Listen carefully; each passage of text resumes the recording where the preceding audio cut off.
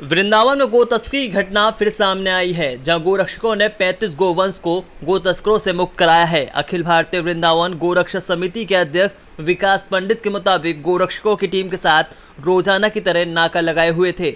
इसी बीच उन्हें गोवंश से भरा कंटेनर आता हुआ दिखाई दिया। जब उन्होंने कंटेनर को रुकवाने का प्रयास किया तो चालक कंटेनर को तेज़ी से भगाने लगा।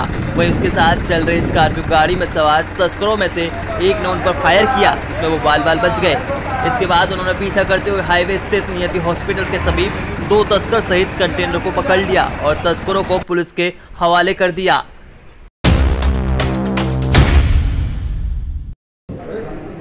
वृंदावन के मथुरा रोड स्थित वात्सल्य ग्राम में 31 मई को सुबह 11 बजे वात्सल्य कोविड केयर सेंटर का शुभारंभ केंद्रीय मंत्री पीयूष गोयल के द्वारा किया जाएगा।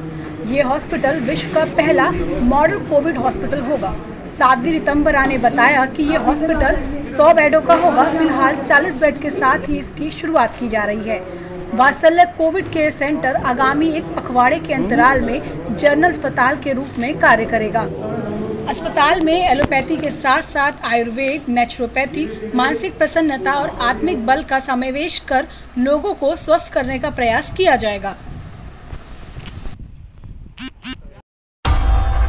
कान्हा की नगरी से जुड़ी हर छोटी बड़ी खबर पर है हमारी पैनी नज़र।